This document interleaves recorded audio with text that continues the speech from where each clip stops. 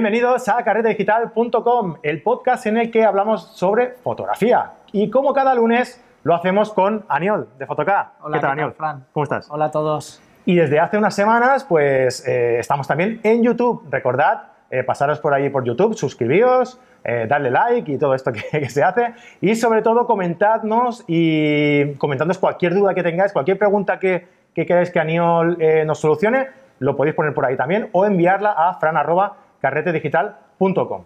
Bien, eh, como estáis viendo, hoy estamos, hemos cambiado el set, estamos dentro de la tienda de, de Photocap, pero hemos cambiado el set, estamos dentro de la, de la tienda, lo que es la tienda, el otro día estábamos en otro apartado y hoy estamos dentro de lo que es la tienda, que es, está súper chulo, ya veis aquí con el fondo esto de, de Canon, me tienen secuestrado, yo soy de Nikon, me tienen aquí secuestrado. Exacto. Pero bueno, hoy, hoy vamos a hablar de una novedad súper chula que seguro que los seguidores de Canon estaban esperando como candeletas, ¿no? Exactamente. Y además hemos tenido la, la- la agradable sorpresa de que justo nos acaba de llegar el nuevo 70-200 IS2 F4 L2 de Canon. Eh, tienen estos nombres tan largos. Recordamos la serie L son los que tienen el anillo rojo, son la gama alta. IS significa que está estabilizado. Esta es la versión F4, es la versión más ligerita, pero menos luminosa. Y estamos esp- esperando también con mucha, con mucha expectativa la versión L3 que de la versión 2.8. Ah, ¿vale? Una de las diferencias que podemos ver es, no sé si lo podremos ver, pero ya os lo digo yo que es una de las diferencias, es que el estabilizador tiene tres modos cuando en las versiones anteriores solo tenían un modo. vale. ¿vale? Eh, han añadido, antes teníamos el modo 1 para hacer las fotos en estático y el modo 2 para cuando hacíamos, seguíamos un objeto en movimiento. ¿vale? Ahora añadimos un tercer modo y bueno, tendremos más prestaciones. También el estabilizador en la versión F4 dice Canon, lo tendremos que probar, pero vamos, si ellos lo dicen, me imagino que lo habrán probado. Será verdad, claro. Que es de hasta 5 pasos, o sea que es una maravilla. ¿vale? Aunque sea F4, si tenemos una buena cámara, podemos subir de ISO y seguirá siendo una óptica rápida. Es un soporte más que tienes a la hora de evitar la trepidación de, la- de las fotografías. Y la versión nueva, la versión L3 de la 2.8, eh, tendrá nuevos elementos, tendrá un revestimiento nuevo de fluorita, más ligero, más silencioso para aquellos que hagáis vídeo, que ya tengáis cámaras que tienen autoenfoque de vídeo, Ujú. que son los más modernos de Canon. Eh, eso también va a ayudar y nos va a hacer que la cam no haga ese movimiento que a veces se nos queja la gente Claro. de que las cámaras, el autoenfoco en la reflex les cuesta. Sí, eso lo hablábamos antes de Lo entrar, hablamos ¿verdad? antes de entrar. Yo he intentado grabar algún, no, algo con mi, con mi cámara y lo tengo que hacer en manual, Ujú. calculando la distancia de, de- de enfoque, ¿no? Sí, Eh, y entonces no moverme mucho. Exacto. Porque si, cómo- si abres mucho el diafragma, sales del foco enseguida. Exacto, y como más abierto tengamos el diafragma, menos espacio de Claro. metros tendremos en foco y más fácil nos será que nos rasque el foco, que estamos fuera de foco. O sea que Exacto. siempre, si diafragmamos a 5 o 6, ya ni que sea, pues ya tendremos muchísimo. Tienes más margen para ir moviéndote un poquito aunque sea, ¿no? Exacto, Claro, para exacto. no salir de foco. Vale, y me hace ilusión, y ahora que estamos en vídeo, que la gente nos puede ver, eh, poder enseñarles físicamente.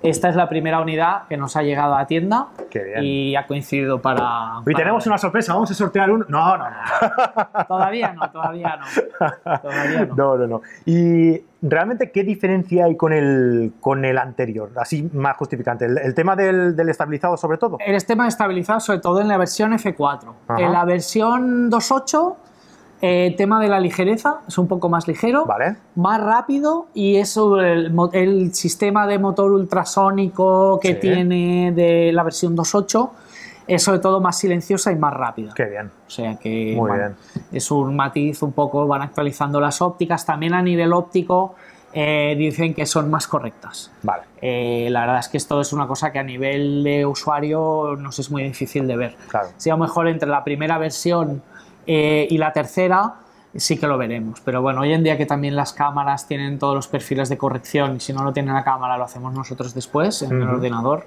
Claro. La verdad es que este, estos mejoras ópticas son un, poquito, un poquitín más difíciles de ver. A mí me habían dicho que el, el F4 anterior, el 70-200 F4, Sí. casi eh, que era más nítido que Sí. el 2.8. ¿Puede Que ser? el 2.8 F4, sí ¿Verdad? señor. Sí, lo que pasa es que Es eh, mucho más ligero también.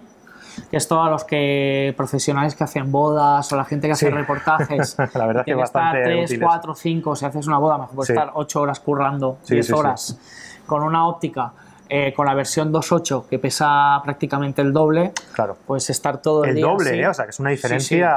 bestia. Claro, también la, la luminosidad es Claro. distinta, no es lo mismo un 2.8 que un 4. Claro. Pero mucha gente, por ejemplo, que hace naturaleza. Sí, pero si tienes, perdona, ¿eh? si tienes un, un 2.8, eh, o sea, un F4, pero que te estabiliza cinco pasos, Exacto. en- ostras, En, verdad estamos a un nivel de prestaciones muy claro, parecidas. claro, claro, También, compensa. también tenemos que tener en cuenta que esta óptica es más económica, 1499, respecto a la versión F28, que rondará Sí. los 3.000 euros. Sí, sí, sí. sí, Entonces, para la gente también que hace naturaleza, que hace las fotos muy, muy de día y que no le hace falta esta diferencia del F4 al 2.8, pues llevar esto tanto en la mano como en la mochila, como si lo tenemos que estar utilizando muchas horas al día, pues la verdad es que a nivel de nitidez es serie L, es una garantía de calidad y la, la nitidez, ya te digo, la nitidez del F4 a F4 eh, será igual de buena o mejor que el de F28 a F4. Claro. ¿vale? Eso ninguna duda de que es una óptica estupenda, es una óptica fantástica. Bueno, pues. Y es novedad en la tienda. Novedad en la o sea que la novedad os la traemos a, a vosotros, ¿no? Sí, Muy bien, pues ahora si te parece, vamos a, a responder a las dudas de los que nos habéis ido enviando. Os recuerdo sí, Eh, a ver si doy. Sí, aquí. Eh, os recuerdo que podéis hacernos llegar, como os he comentado antes, a fran.carretedigital.com o a- en cualquier eh, plataforma en las que subimos el podcast en audio o en YouTube, donde subimos el, el vídeo, ¿vale? Eh, también queremos saber vuestro feedback. ¿Qué os parecen estos programas? Si os gustan, si no os gustan, qué os faltaría, qué, no sé. ¿queréis que los hagamos en exteriores? Mejor que no, porque ahora hace mucha calor. sí, mejor eso a partir de Sí, septiembre. dejémoslo. Sí. Pero bueno, cualquier cosa que veáis, ¿no? O cualquier Sí. cosa que, que os gustaría que incorporáramos o cualquier sugerencia. Exacto. Estamos abiertos a Si, cualquier si tipo nos de... quieren invitar a algún También. sitio. Ah, a- mira, es buena idea, ¿eh? a- Sí, sí, sí. Alguien que tenga un chiringuito, nos vamos allí a grabarlo. y- Sería, oye, sería una idea muy Sería- chula, ¿eh? sí. ¿Eh? Bueno, ahí lo Eh, dejamos. Carrete Digital y Fotoca on tour. Exacto. Exacto. Ya hemos soltado el gañoteo. y Ya ahora- está, ya está, ya lo tenemos. Muy bien, pues venga, la primera pregunta de hoy. Juan José Moya. Espera, que me voy a poner las gafas de ver, ¿eh? Vale. Juan José Moya, estimados amigos, tengo un Sigma 105 28 macro E EXDG eh, OS. Joder, esto también es largo, ¿eh? Sí. Para Nikon. Mi pregunta es, ¿por qué siendo 2.8 en la, mayor- en la mayoría de los casos no llega al 2.8? Sí. Esto. Eh, en diferentes, bueno, nos, nos apunta, nos puntualiza, en diferentes foros dicen que eh, los macros son así. ¿Es verdad? Es verdad en cierta, en cierta forma. Las ópticas macro, mira, ahora que tenemos, esta no es macro, pero cuando enfocamos objetos que están muy cerca, el elemento frontal se mueve, se mueve adelante y hacia atrás. Entonces, sí que es verdad que muchas veces eh, ponemos la óptica con la cámara al diafragma F28, Ujú. en esta óptica nos pasa, y cuando tocamos el enfoque, ¡pum! automáticamente, sin nosotros tocarlo, nos pasa a F3 o a F31 o en función de la óptica 3.5 Vale. eh, y decimos, ostras, Cuando es 2.8 en, teoría- en 2.8. todas las focales. o sea, eso debería- es porque el elemento frontal al desplazarse para poder enfocar tan cerca tiene una pequeñita pérdida de luz que la Ajá. cámara detecta, el fotómetro de la cámara, Vale. porque realmente no llega a ser un paso o medio paso, pero sí que hay un poquito, un poquito de pérdida de entrada de luz. Vale. Entonces, que se quede tranquilo, que su óptica está bien, que no tiene ningún defecto. Es una cosa que nos ha pasado aquí en la tienda de algún cliente que nos ha venido, oye, que me habéis vendido una óptica 2.8 Y no es 2.8. y no abre a 2.8 y quiero una nueva. Y bueno, y lo hemos probado, con una óptica le hemos abierto una óptica nueva y lo hemos probado y efectivamente con el 105 de Nikon también pasa, con el 105 de, eh, con el 100-28 de Canon también puede llegar a pasar, Vale. eh, con el Sigma y bueno, esta óptica que tiene este oyente la verdad es que se vende muy bien, mucha gente lo tiene. Eh, aquí también la, Sigma la ti- 105, 2.8 más. Exacto. Es una óptica que tiene muchos odontólogos también, porque Ajá. está en relación calidad-precio está muy bien. Y la verdad es que la recomiendo mucho para gente que se inicie en el tema de la fotografía de macro.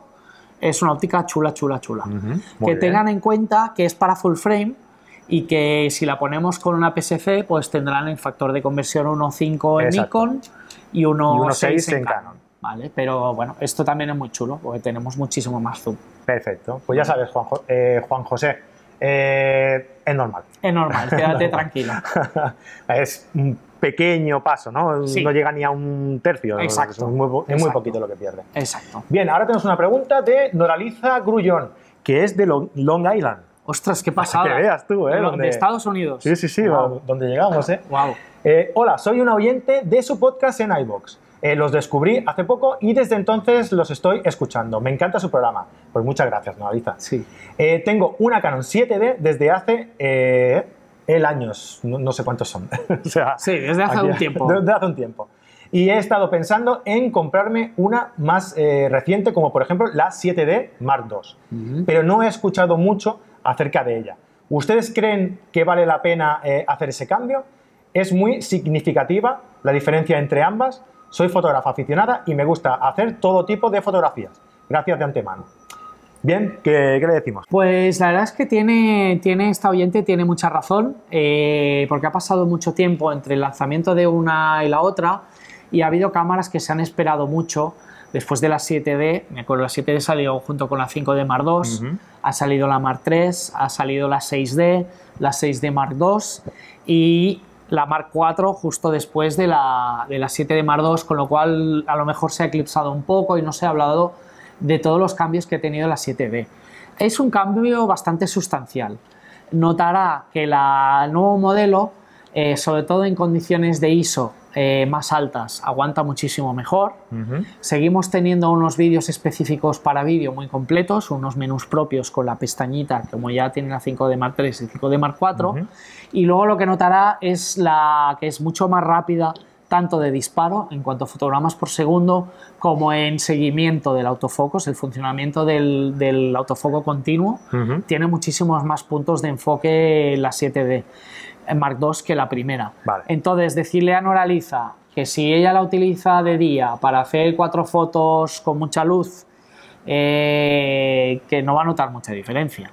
Pero que si tiene algún tipo de fotos que le gusta hacer con poca luz, que necesita hacer algo de ráfagas para hacer deporte, porque como Claro, decía, hace un poco dice de que le gusta hacer todo tipo de fotografías. sí. Eh, fotografía y sobre todo en el tema de la velocidad de disparo y el tema de la, de la del grano, del ruido que hace Sí. con una ISO mucho más elevada, pues le va a notar mucha diferencia. Vale. O sea que yo se la recomiendo y la verdad es que ha mejorado mucho. Sigue manteniendo el weather sealing y todas estas prestaciones.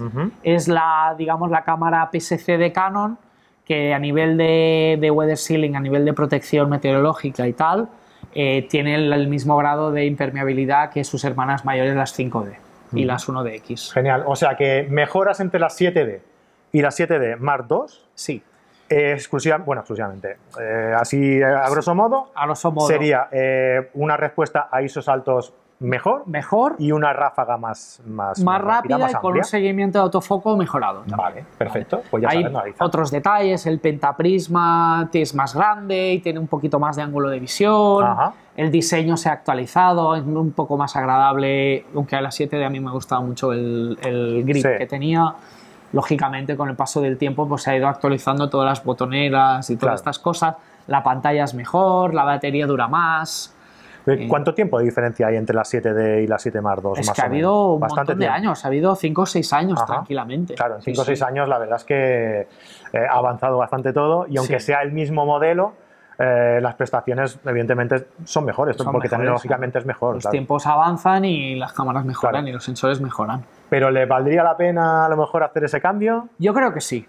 Yo creo que si es entusiasta y realmente lo disfruta y le gusta y es fotógrafa aficionada, ostras, va a estar como una niña con, Claro. con zapatos nuevos. Y si no, siempre te No. puedes pasar a Nikon. Ahí- ahí yo, yo ahí es no, que yo soy nikonista. yo ahí no me mojo. Pero bueno, no, no. La verdad es que mm, yo soy nikonista porque empecé con Nikon. Sí. Pero mm, si ahora mismo tuviera que utilizar una Canon, he utilizado Canons, he Sí. utilizado Olympus y la verdad es que mm, Yo- la diferencia que hay entre unas y otras pueden ser más, más o menos significativas, pero mm, hacen buenas fotos Sí. todas. Y todas las marcas han sabido buscar su nicho y todas tienen sus ventajas y sus inconvenientes respecto a la competencia. Claro. Entonces, pues Canon tiene unas prestaciones, Nikon tiene, tiene unas otras y, y muchas veces a los fotógrafos, en función del tipo de fotografía, también hay Tira para una o tiras para para una marca o tiras para otra. Correcto. Y bueno, yo me llevo de todo. Aquí en la tienda tengo la suerte de que, de que un fin de semana me llevo Olympus, el siguiente Claro, Fuji, el siguiente. Canon, Nikon y la verdad es que, Muy que bien. no me caso con nadie porque me gustan todas. Yo- Y así es mejor la variedad, ¿no? Claro, mejor probar. claro, Y, claro que sí. eh, ahí está, en, en eso está la belleza de la fotografía, ¿no? En Claro. probar unas cosas y otras. Claro, unas a lo mejor tienen mejor rendimiento en poca luz, otras se enfocan más rápido, otras disparan, tienen una ráfaga más larga. Todas tienen. Un día haremos una marca con un compendio de, Sí, de lo mejor de todas, chulo, ¿eh? Y nos vamos a forrar. de- sí, Nos vamos a forrar. Muy bien, pues nada, hasta aquí el programa de hoy. Recordad que, bueno, estamos en iVoox, estamos en iTunes, estamos en nuestra página web, carretedigital.com. Fotoca.es, la tienda que Sí. nunca cierra. Tenemos ahí alguien exclusivo que lo abre por las noches, no cierra nunca. Tenemos ahí unos duendes que no duermen por la noche y cualquier cosa que necesitéis, si no nos Exacto. encontráis porque no estamos en horario de apertura de la tienda, siempre podéis ir a la web y, y comprar lo que sea. Genial. Pues nada, eh, lo dejamos aquí. Eh, muchas gracias a todos por seguirnos y nos vemos la semana que viene. Adiós, adiós. Adiós.